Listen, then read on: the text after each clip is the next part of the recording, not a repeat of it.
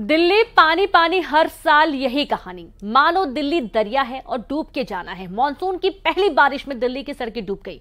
मानो सड़कें दरिया में तब्दील हो गई। ये रिपोर्ट देखिए।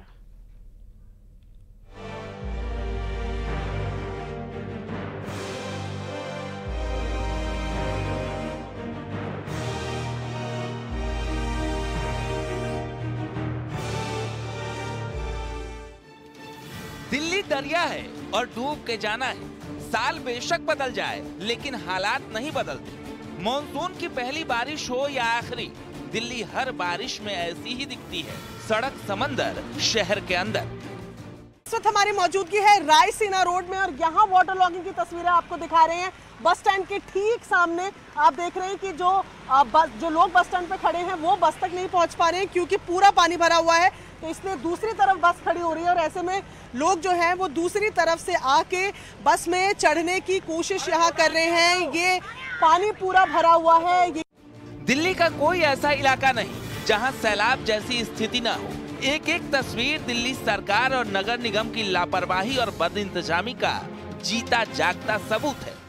दिल्ली में अलग अलग जगह इसी तरह से वाटर लॉगिंग हुआ है ट्रैफ़िक की बड़ी समस्या खड़ी हो गई है। इस वक्त आईटीओ पे यहाँ दो रेड लाइट है लेकिन दोनों रेड लाइट पे लगातार इसी तरह की स्थिति बनी हुई है। Indira Gandhi airport Minto road Connaught place Teen Murti Marg national media centre शांति पथ सारे इलाके मानो सैलाब में समा चुके हैं। अभी मॉनसून ने बस दस्तक भर दी है। सोचिए, जब मॉनसून अपने चरम पर होगा तो क्या होगा? हालाँकि दिल्ली हर साल डूबती है। तस्वीर कमोबेश, हर साल ऐसी ही दिखती है। दिल्ली डूबती है और लोग तैरते हैं। फिर शुरू होती है राजनीति। एक दूसरे पर आरोप प्रत्यारोप। जल भराव हुआ तो बीजेपी के पार्षद दिल्ली की सड़कों पर बोट चलाने लगे। और आज देख सकते हैं मैं पी पीडब्ल्यूडी का नाला दिल्ली सरकार का सामने। ये पीडब्ल्यूडी का नाला सारा ओवरफ्लो है। मानसून रहते हुए इन्होंने दिल्ली के नालों की सफ़ाई नहीं कराई, जिसकी वजह से जल भराव की समस्या आ चुकी है। कभी बूंद बूंद पानी को तरसती दिल्ली आज बारिश में आकंठ डूब चुकी है। दिल्ली वालों का क्या है? वो बिना पानी के भी परेशान थे और अब पानी से भी परेशान है। सवाल ये है कि हर बार यही तस्वीर लोगों की परेशानी का अंदाज़ा आप इस तस्वीर से लगा सकते हैं। संसद भवन, कनॉट प्लेस, केंद्रीय सचिवालय, Raisina road, Shastri Bhawan, Udyog Bhawan, national media centre, Rajendra Prasad road.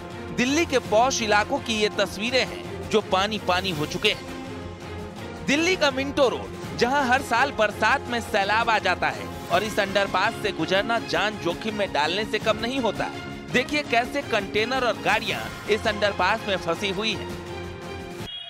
अच्छा एक फॉर एक कार डूब गई है। एक, एक कार एक ट्रक है दूध का ट्रक है। अच्छा दूध का ट्रक है। कोई फंस भी गया है क्या? वो तो निकल गए वो छोड़ तो पहले थोड़ा पानी था ना पहले। अच्छा। थोड़ा पानी तो उसने ज़बरदस्ती गाड़ी डाली। चलो उसको निकल गया। गाड़ी निकलने के बाद वो वापस आ गया।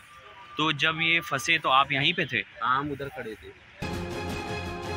कनॉट प्लेस की तस्वीर देखिए। दिल्ली का दिल कहा जाता है, लेकिन इस दिल में दरिया की दस्तक हो चुकी है। क्या बस, क्या कार, क्या ऑटो, सभी पानी में मानो तैर रहे हैं, और इस पानी में जिस बाइक सवार की बाइक बंद हो चुकी है, उससे पूछिए पानी से परेशानी क्या होती है। दिल्ली का तीन मूर्ति मार्ग, बारिश के पानी से लबालब है। तस्वीर वही, गाड़ियाँ फंसी, लोग परेशान, और आदमी पर बाइक सवार। दिल्ली का शांति पथ यानी चाणक्यपुरी का वो पौष इलाका, जहाँ कई विदेशी दूतावास भी मौजूद है। लेकिन बारिश के बाद शांति पथ के हालात देखिए, सड़क पूरी तरह से जलमग्न हो चुका है।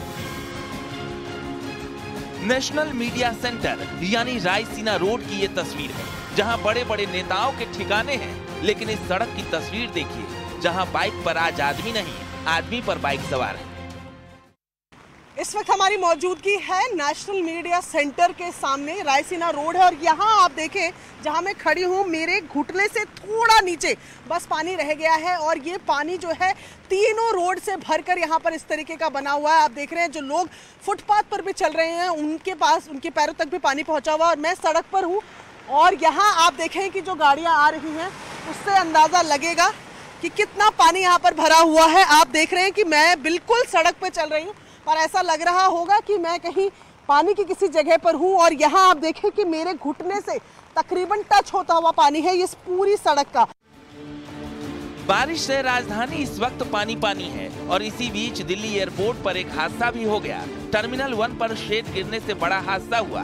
बारिश की वजह से छत गिरने से वहाँ मौजूद कई कारें दब गईं, जिसके बाद दिल्ली एयरपोर्ट के टर्मिनल वन से सभी उड़ानों को रद्द करना पड़ा। और इसी के साथ खबरों में फ़िलहाल इतना ही। नमस्कार।